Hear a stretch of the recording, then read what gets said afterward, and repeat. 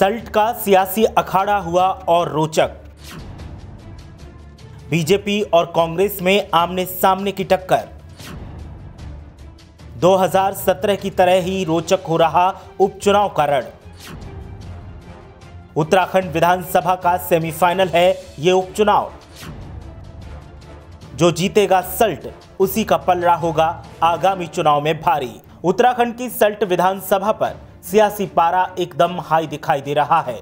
BJP अपने कब्जे को बरकरार रखने के लिए जी तोड़ मेहनत कर रही है। तो वहीं कांग्रेस भी बीजेपी से ये सीट छीनने के लिए ज़ोर आजमाइश में लगी है। दोनों ही दलों की तैयारी पुख्ता दिखाई दे रही है।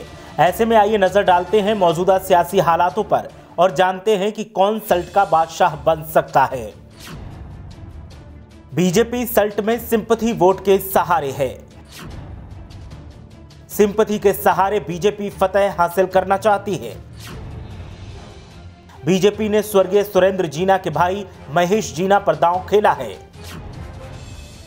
कांग्रेस ने 2017 के बाद फिर गंगा पंचौली को टिकट दिया है।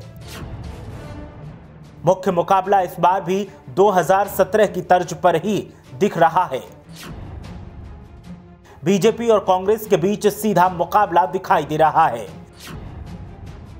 मतदाताओं की संख्या में बीते चार सालों में बहुत अंतर नहीं आया है। बीते चुनाव में जहाँ सल्ट विधानसभा में पचानवे वोटर थे, वहीं अब मतदाताओं की संख्या पचानवे हो गई है। 2017 विधानसभा चुनाव में बीजेपी को इक्कीस वोट मिले थे। कांग्रेस को 2017 विधानसभा चुनाव में 18,677 वोट मिले थे। उम्मीदवारों के लिहाज से 2017 में 10 दावेदार मैदान में थे। इस बार इनकी संख्या घटकर सात ज़रूर हो गई है। 2017 में भुवन जोशी तीसरे नंबर पर रहे थे। और उन्हें मात्र छह सौ उनहत्तर वोट मिले थे। हालाँकि मौजूदा वक्त में बीजेपी और कांग्रेस दोनों ही जीत का दावा कर रहे हैं।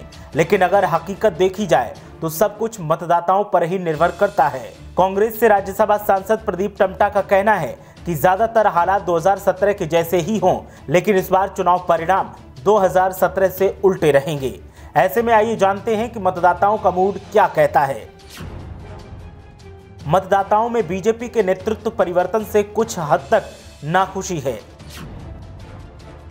लेकिन इसका मतलब ये नहीं कि मतदाता कांग्रेस के साथ हैं। कांग्रेस की उम्मीदवार के ऐलान से पहले की खींचतान भी जहन में है।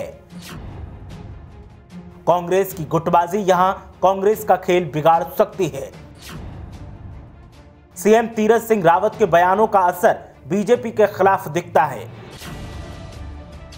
रोज़गार का मुद्दा सल्ट विधानसभा उपचुनाव में छाया हुआ है।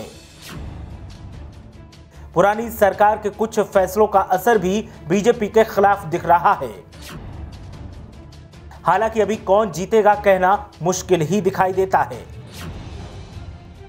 क्योंकि सहमति और असहमति का दौर बीजेपी और कांग्रेस दोनों के साथ है। बीजेपी सांसद अजय भट्ट का कहना है कि उनकी पार्टी सल्ट उपचुनाव तो भारी मतों से जीत ही रही है। कांग्रेस का दावा है कि नतीजे 2017 से ठीक उल्टे आएँगे। लेकिन मतदाता किसके साथ हैं ये तभी पता चलेगा जब नतीजे सामने आएँगे। फ़िलहाल तो सल्ट विधानसभा में सियासी शोर जमकर सुनाई दे रहा है। ब्यूरो रिपोर्ट, मीडिया हलचल।